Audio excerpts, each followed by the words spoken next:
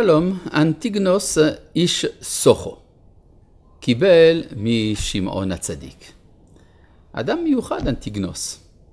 איזה מין שם זה? שם יווני מובהק? שם יווני עבור גדול חכמי ישראל שבדורו.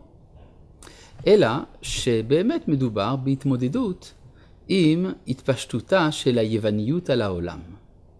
ואז היווניות מעמידה בפנינו שאלה, האם מטרת האדם צריכה להיות למען עצמו או למען אידיאל שעובר אותו? השאלות האלה, שאלות מוסריות בסיסיות, הן הן אלה שהעסיקו את הנפש ההלניסטית בימיו של אנטיגנוס איש סוכו. וגם השם אנטיגנוס היה השם של השליט היווני ששלט על ארץ ישראל מיד אחרי אלכסנדר מוקדון, מה שמחזק את ההרגשה שיש איזה שהוא קשר בין, כלומר שאנטיגנוס מהווה איזשהו מענה לאותה תרבות הלניסטית ושאלותיה. ובאמת, מצאנו שתי אסכולות מוסריות אצל חכמי יוון. היו ההדוניסטים, אלה שאמרו שמטרת החיים היא העונג, והמוסר מהווה את העונג העליון, בעוד שהיו סטואיקנים, קצת יותר מאוחר, שסברו שהאדם צריך ללכת אחרי צו המצפון. תהיה לו מזה תועלת או לא תהיה לו, הדבר הזה הוא משני. העיקר לעשות את הטוב באשר הוא טוב.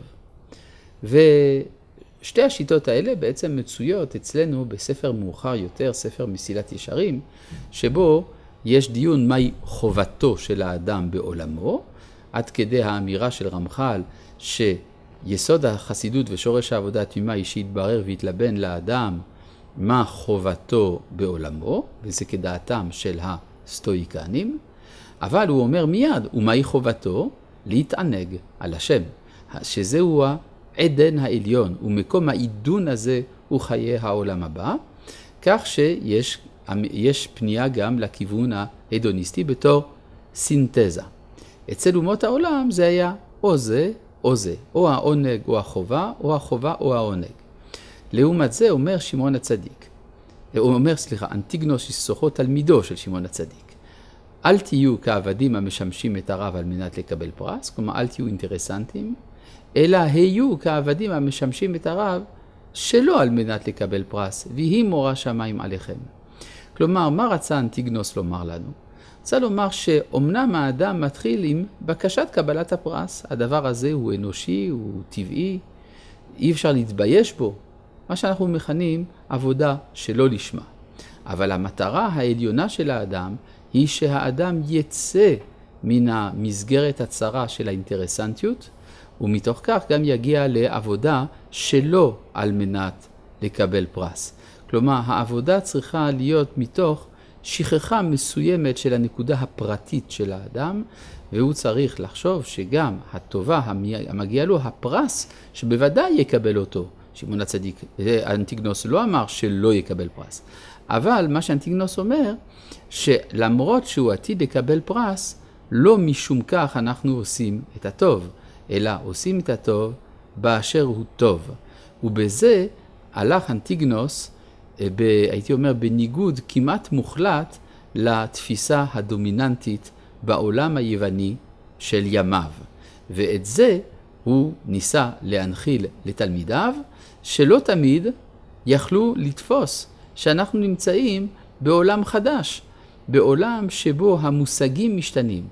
והוא כבר נאמר באבודי רבי נתן, שלאנטיגנוס היו שני תלמידים בעייתיים, צדוק וביתוס.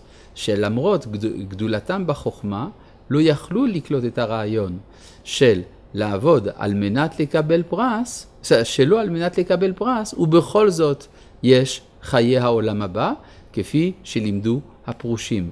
מתוך כך נולדו שתי הכתות, הצדוקים והפרושים. ייתכן היה, הצדוקים והבייתוסים, ייתכן היה שבתוך עולם שבו אין יותר נבואה, שבו השכל הפילוסופי הוא, הדומיננטי, ייתכן שלא הייתה ברירה אלא שתקום כת כמו זו של הצדוקים או כמו זו של הבייטוסים.